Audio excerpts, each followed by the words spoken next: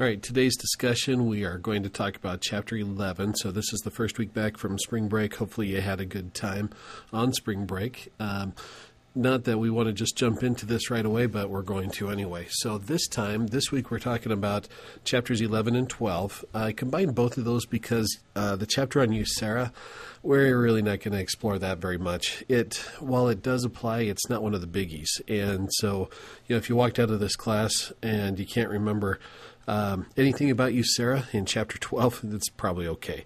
All right, but let's go to chapter 11. This covers four big laws that you really want to be aware of as a manager or a business owner. You know, the National Relations, excuse me, the National Labor Relations Act, the Labor Management Relations Act, Fair Labor Standards Act, and the Labor Management Reporting and Disclosure Act are, are four of them that you know, you may have heard them used in different ways in the past. You may have also used um, some different ways to, to talk about them. So some of these things may be familiar, especially if you've worked in a labor or a union type of an environment. Uh, for those of you who have never worked in a labor or, or a unionized environment, you still need to be aware of these things. Many times we think that, hey, we live in um, Idaho, so it's a right to work state. Um, a lot of times we say, "Hey, it's a right to work state," and and we we instead mean that it's a uh, at will state.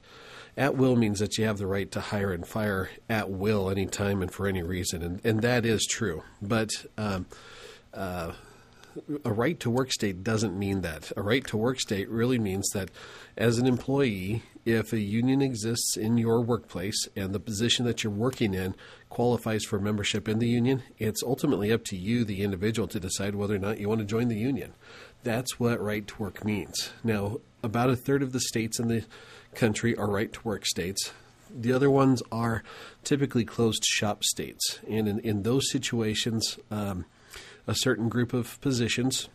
If a labor union exists within an organization, then certain positions are identified as automatically being a part of that union.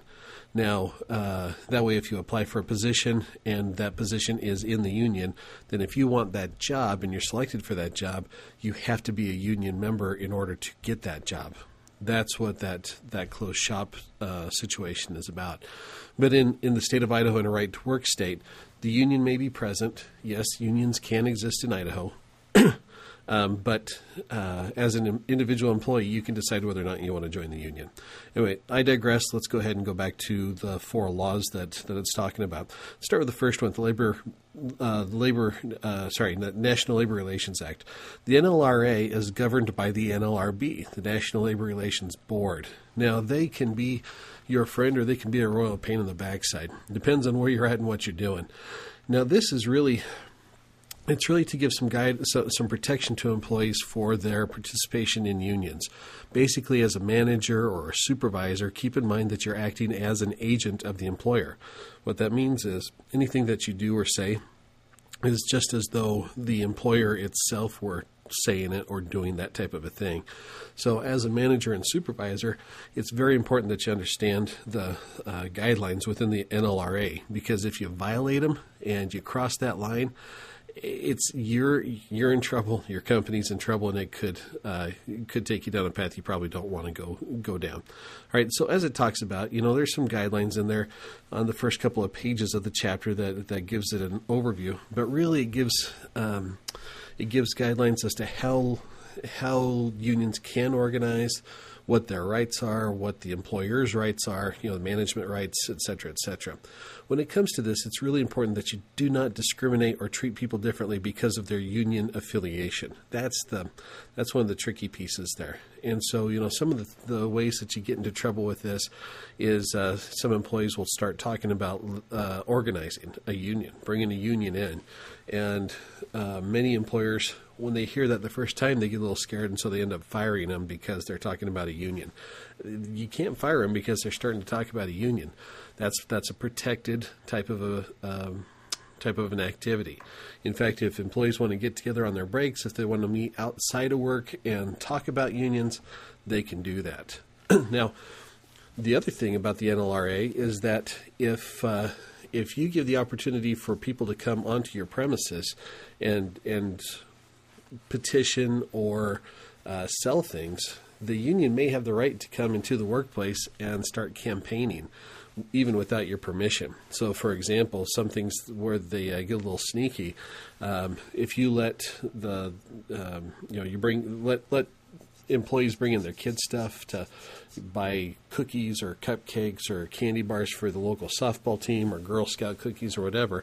If that's allowed freely, then if a union wants to come in and campaign and drop off their materials too, they may have just as much access if you don't have some kind of policy in place that restricts access or or uh, requires some kind of approval process for them to come in and, and, and have those types of conversations. Anyway, um, this labor relations, the National Labor Relations Act was one of the first pieces of employment law that was established in the United States prior to this, the federal government really stayed out of the workplace as much as possible. They tried to not regulate employment or or po- impose any kind of rules on employers because they really tried to create a laissez-faire arrangement where business was business and government was government.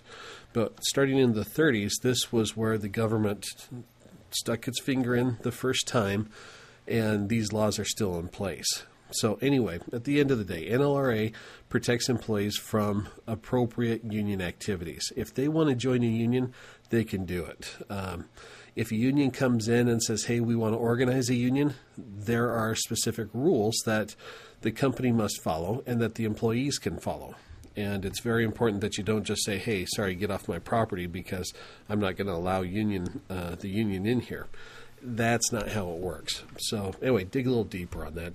Anyway, the reason why this came about was because you know it, it, wasn't that we just started to have labor unions in the 1930s. We've had labor unions for for centuries in different in different uh, structures in different countries. But you know, prior to this time, the employers were just treating employees terribly, absolutely terribly. The employees had no rights; they could fire them without worrying about it. If they uh, organized or tried to demonstrate or or picket or strike, the employer would just fire them all. Um, it was a bad situation. It was, it was a terrible situation. So the NLRA is really designed to help provide protection to employees who want to engage in these types of protected activities. Now, the big thing to remember is that as an employer, you don't want to discriminate against people for their involvement in the union. Uh, you don't want to not hire somebody specifically because they're a, a, union member. I remember one interview I had uh, an individual come in, sit down, and said, "You know, let, before we start this interview, let me tell you, uh, my intent is to get hired here so I can come in and start a union." Now, if I use that as the basis for saying, you know, this this interview is now over, and you're not going to get a job because of that, he could have used that against me and, and you know gone through through to the NLRB and created some big legal issues.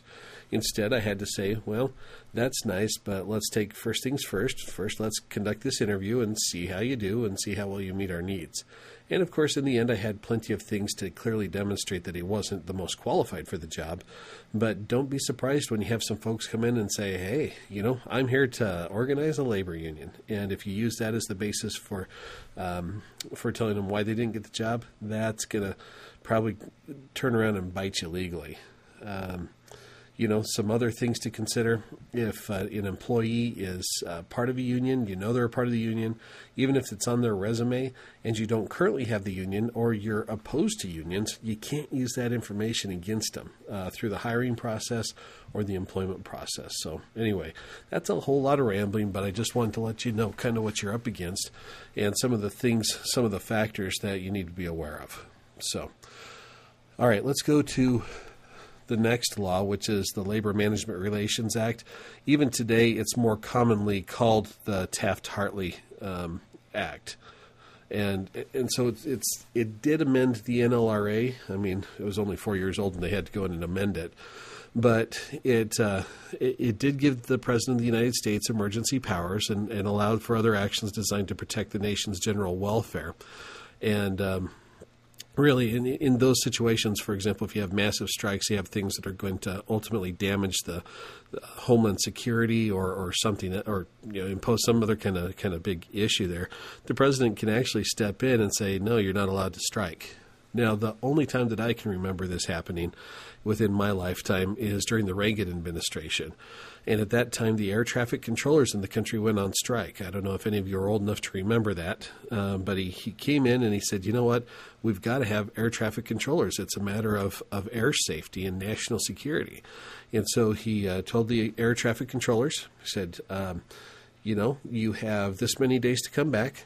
I expect you to come back get back into your job and we'll go to the table and negotiate. Anybody who does not come back to work by this date is going to be fired.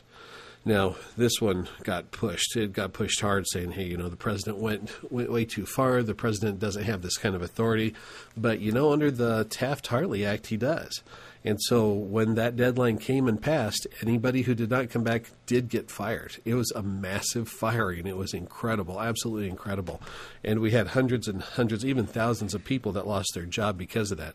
Now, most of them came back and reapplied and, and, um, you know, were able to to get back into into work. But at at that point, you know, the president did invoke his his powers at that time. It was pretty incredible. Let's go into the third piece, which is the Fair Labor Standards Act. Now, this is one of the most important laws that you need to be aware of as a supervisor. The two big things that it talks about are wages and child labor. Let's talk about wages. It establishes a weekly number of hours that are set to constitute a work week. Any work that's performed over those 40 hours needs to be paid overtime, and overtime has to be a minimum of time and a half. Now, you have two types of employees.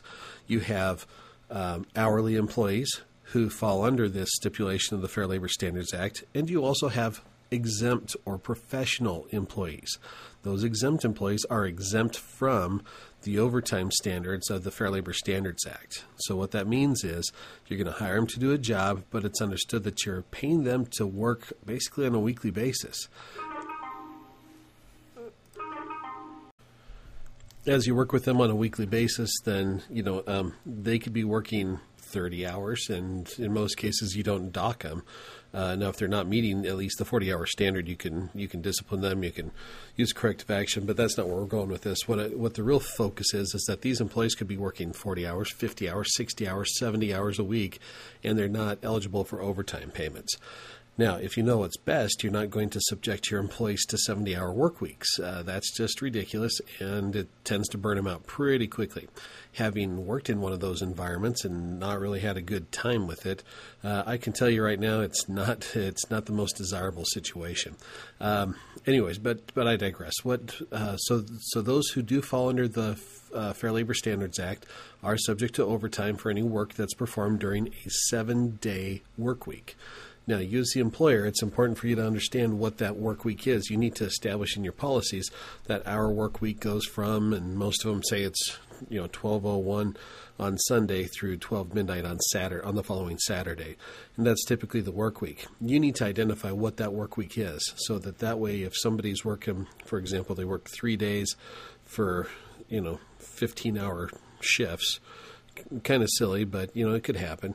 And it's a Monday, or excuse me, it's a, a uh, Thursday, Friday, Saturday. Well, if they come in and work another 15-hour shift on Sunday, if you haven't established your work week, you may be you know having to pay extra overtime. Otherwise, by saying, "Hey, our work week runs from Sunday to Saturday," um, then they can work those 15-hour shifts.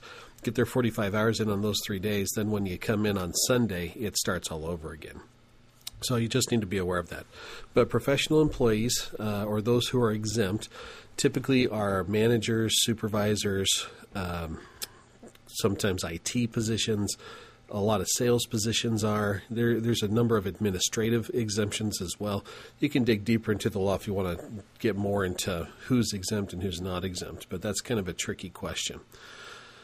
Now, the other piece to the Fair Labor Standards Act is child labor, and those rules have changed even from the time that the law was written. Uh, the, it, things have changed a bit, and so really back then, I mean, you could have sent your kids off to work and it was legal, but we had way too many kids getting hurt, injured, or killed on the job. So this is really to protect them and, and add some standards.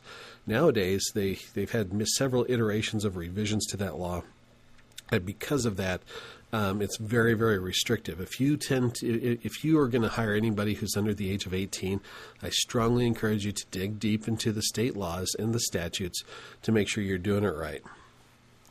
basically, if they're at age 18 and out of high school, you can use them however you want. If they're age 18 and still in high school, then there's going to be some restrictions on how many hours they can work during a day, during a week. Um, you know, to to what time of night can they work? Uh, those are some of the some of the considerations. If they're under 18, um, then it gets a lot more restrictive. Now, if they're 16 or over, that's where the restrictions really come in. But if they're under age 16, yeah, you can hire them, but it's excessively restrictive to um, to hire somebody who's under the age of 16. Um, unless it's a family member. If it's a family member and it's a family owned business, that's something different. But if you're talking about hiring teenagers and they're under the age of 16, um, it can get kind of sticky, so you'll want to be aware of those. All right, this final one, number four Labor Management Reporting and Disclosure Act. This one is. Um, you know, it's this one's kind of tough because it's it's it's vague, and it does it really doesn't apply in many situations. But where this comes in on the reporting side is it lays out some additional rules of the of rules of the game, so that if a labor union wants to come in or they're currently in the organization, then um, you know this is this is where it goes to the next level. Now the book talks about the, that it, it, that you cannot interfere with an employee's right to work, their ability to organize, choose representatives, etc. Uh, the best example of this is probably a company I worked with down in Boise when I was consulting. Uh, they called me in because uh, the supervisor said, "Hey, you know." I hear my employees are talking about unionizing. Can you come in and give me some tips? And so, you know, we got a little deeper, and sure enough, the rumor mill had started. And, and so I coached him. I said, look, if they provide these interest cards to you, don't accept them. Say that you can't take them, you can't, you, you can't look at them, you can't touch them. And, um, you know, and, and really those are those those interest cards. If the union gets at least thirty to thirty five percent of all the eligible employees to sign one of these interest cards, then they can submit it to the NLRB and ask them to certify those cards and to come um, insist that there's an election that takes place. Once the election takes place, then if 50% or more of the eligible employees say yes, we want a union, then you know they can have the union. What the LMRD covers is uh, there's a lot of similar language to the NLRA, but it really restricts the employer from going in and doing some things during the campaigning process. So if employers come in with the cards and they say, "All right, well, we won the election," you know, you've got to you got to be careful because there are certain things that you can do and certain things that you can't do. So back to this company, I, I instructed the employer as to what he can do and what he can't do, and his attorney was there. And being a typical attorney who's not a labor attorney but operates in the state of Idaho, he says, you know, there's nothing to worry about here unions don't work in Idaho. They they they just they can't exist. I said I beg to differ, and they definitely can. So anyway, we parted company, and about a week later, I get the call that says, you know, I have the stack of cards that was set on my desk. What do I do with them? uh, from that time forward, uh, we engaged in the campaigning process. The National Labor Relations Board was called. They were contacted, and they actually flew up to Boise from Denver to oversee this election process. now, in the end, um, there weren't enough votes to bring in the union, but at that point, I had to instruct the employer as to just how many hands, you know, hand tines that he had. He wanted to go out and, and basically tell his employees that if they didn't unionize, he'd increase their pay. I said, "You can't do that. That's an unfair labor practice." He said, "Well, you know, if we if we go union, I'll just close shop." Tell them you may be able to do that after the fact, but you can't tell them that that's what you're going to do. it was pretty restrictive, and unfortunately, it was a it was a tough lesson for them to uh, to understand. So anyway, where does where does this get us to? These four laws really talk about common sense approaches to work with your people. When unions come in and they organize, it's typically because there's something that's missing. They may feel underrepresented. They may feel that you, as an employer, are, are not um, listening to them. You, they may feel that they're somehow uh, working harder than they should or not being rewarded satisfactorily. What I've found is that the employers and organizations who take the time to engage their employees, uh, help them grow, help them develop, and really take care of them, not giving away the farm, but really finding new ways to help them out, are the ones who never have union threats at all. I mean, they really don't. One or two people may bring it up, but it really doesn't grab hold. Most of the time that I've watched unions organize successfully, it's because the managers are doing something stupid. Maybe treating somebody wrong, maybe doing some kind of injustice, maybe the wages are terrible, et cetera, et cetera. But um, from my perspective as an employer, as a manager, if you focus on taking care of your employees, making sure that they're taken care of, uh, and, and actually caring about them, you're probably not going to have an issue that involves these laws. Um, at that point, you know, at least relating to labor. Fair Labor Standards Act, you definitely want to be aware of that. Make sure that your overtime is your overtime rules are, um, you know, the, the I's are dotted and the, the T's are crossed on that. But really, that's going to be the primary one that you're going to work with. All right, one last reminder. Um, as it pertains to the Fair Labor Standards Act, uh, with the wage and hour laws, you need to be sure that you follow these laws. Any kind of overtime that was owed but not paid, any kind of time off that was owed but not given, etc., etc., can stack up over time. There, there is no statute of limitations on Fair Labor Standards Act violations. So if you owe somebody overtime from 20 years ago, guess what? You're going to have to pay that overtime at today's rates. There is no statute of limitations if you screw this one up. So it could be expensive, could be costly. So just make sure your payroll and your timekeeping uh, processes are up to date and, and, and compliant. So, anyway, that's the nuts and bolts of Chapter 11. If you have any questions, just let me know. Otherwise, uh, on to the next chapter.